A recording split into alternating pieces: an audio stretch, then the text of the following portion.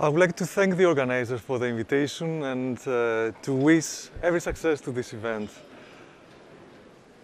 The reform of the Common Agricultural Policy has not been going well. The proposal of the Commission was below expectations, below what we needed to reform a policy that we know for 20 years now has not been delivering, has this been described as a failure. We give half of our money of the budget of the EU to the Common Agricultural Policy, and yet we have failed to deliver the services that our people and Europe needs. The vote in the, in the Parliament has even worsened things. It was really a shameful disaster. Why? Three issues. First, the rich once more won over the poor. 80% of, our, of, the Euro, of the funds going for to our common agricultural policy will be directed to the 20% of the people working in the agricultural sector. It's like giving unemployment benefit to the rich. Second, we continue to have the funding of the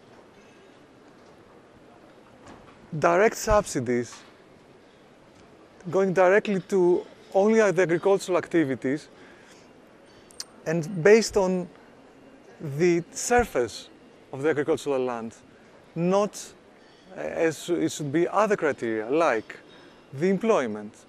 We, we're finding our farmers based on how big the surface they cultivate is, not how many people they employ. And we very well know that throughout Europe there is a lot of unregistered, unregistered employment in the agricultural sector. We needed to put these, these, these workers into the, the picture, to, to have them official in the system, and to make sure that the money we spend in the common agricultural policy goes to sustain, to increase the labor positions, the employment in uh, rural Europe. This is what Europe so much needed now in this severe crisis, in this depth of European unemployment. At the same time, we continue to find not to give opportunities to the European youth to all these people that now with the crisis, in countries like my, my own country, like Greece, have been locked in the versus unemployment circle inside the cities. The Greek example is very uh, characteristic. We have a lot of people living in poverty, uh, often not having uh, to eat, children going to school without uh, having breakfast or lunch. And we have all these families, many of these families having land in the villages of their uh, grandfathers, olive groves and uh, vineyards that they could go back and cultivate. And there is a tendency and there is a willing to do so. But as you know, need, there is need for support, for better infrastructure in the rural areas, startup funds, and so on. This support could only be designed and come from the second pillar. And this necessary support will not come because once more, 80% of the funds go to the direct subsidies and only 20% of the funds will go to the rural areas where we need to invest to keep the agricultural population there, active, creating good quality of, of, of products. And of course, you know the failure for the greening of the CAP. It is a victory of North over the South, a victory of the old over the new. And why is that? We have voted, unfortunately, to support that we don't change anything in the common agricultural policy. We voted for stability, not for reform stability on a policy that we know has failed. We didn't give the opportunities to young people to turn to the agricultural sector that they do want. And we need this generation. As you will see in Pavlos' awarded documentary, it's this generation that gives us hope. It's this generation that can assure that we move to uh, agricultural uh, Europe with higher quality products, with higher distribution, with respect to the environment, provision of the services to the society.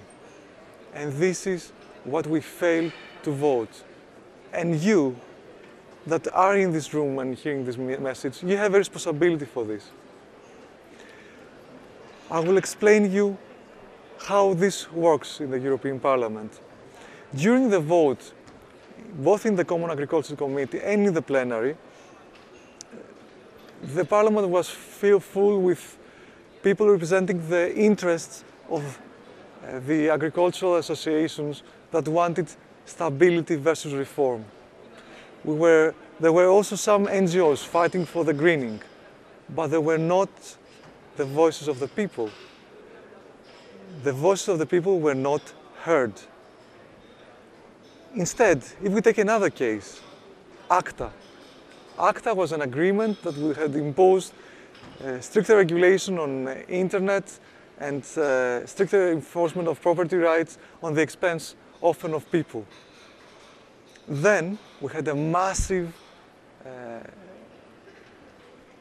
massive inflow of emails from all over Europe, more than 100 every day, to each member of the European Parliament asking to stand up and vote against ACTA. And the European Parliament stood up and voted against ACTA. On the common agricultural policy, where 50% of our budget goes, we didn't have this. We didn't have the emails coming from the people. We didn't have the demand to take a stance towards this or the other issue. Only some interest groups could came in the parliament and mobilized. This was the big gap. Europe, the European citizens, did not take a stance on this issue, on the issue which is so severe. It touches upon all our policies and it touches upon the future of our rural areas. There is still time. As you know, the fact that the European Parliament such a democratic instrument, institution, is exactly based on the fact that we have elections, direct elections for each and one of the members of the European Parliament every five years. The next is almost in one year. Your email, your talk to your MEP, your individual person can make a difference. Now we have decided on a very bad uh, report, a very bad proposal from the side of the European Parliament for the reform of the Common Agricultural Policy based on a bad proposal from the Commission, and we know that we are going to have a bad outcome in the Council, write to us, ask us to vote against the final agreement, ask us to block the outcome of these negotiations and to go again to a vote in the, in the European Parliament for a second reading agreement that will lead to a fair uh, outcome, a fair reform for the common agricultural policy for the interest of the European citizens and Europe, for the interest of the agricultural areas and those young farmers that we see in this amazing documentary by Pavlos that are trying to change things. Let's help them. Let's make the change possible. Thank you.